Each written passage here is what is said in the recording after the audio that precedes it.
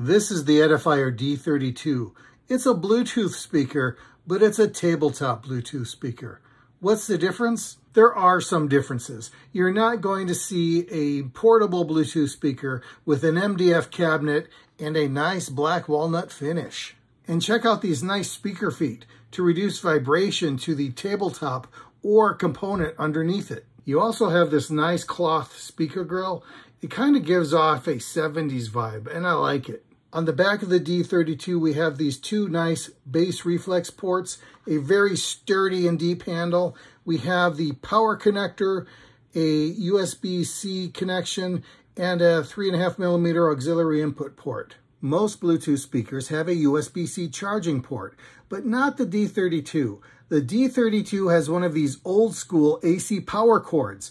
I don't know how you feel about this, but I love it. I have seen so many manufacturers put in a USB-C charging port and then say in the manual, you must use a 1 amp charger. You must use a 2 amp charger. What is the point of a universal cable if the charger is specific and you don't even supply it? I'll take AC power any day of the week, especially for a tabletop speaker.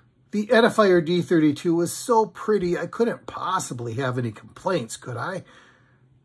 Um... Can you guess what it might be?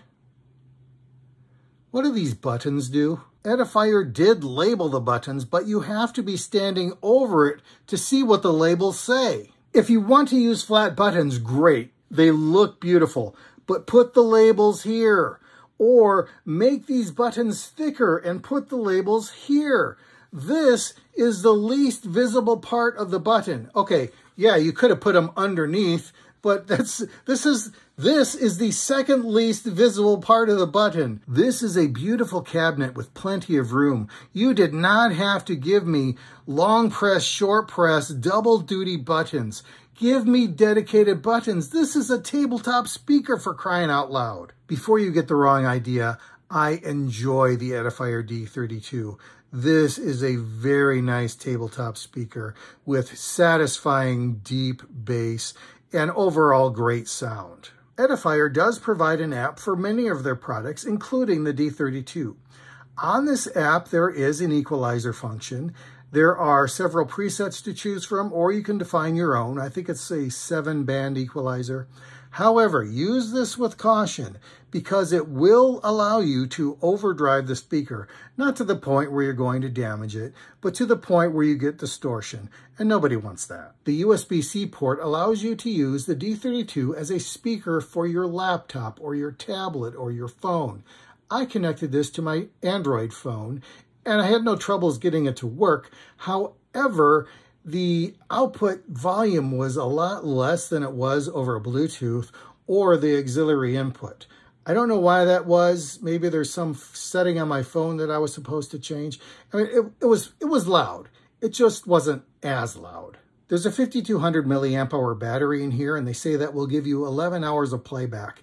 However, I see myself just leaving this plugged in most of the time, so um, I would have been just as happy if there's no battery at all. But eh, you can use this speaker as a standalone, and I have, but I think it would really shine if you got a pair of these and use them in TWS mode, true wireless stereo. I It would, well, it would double the power, and it would sound fantastic.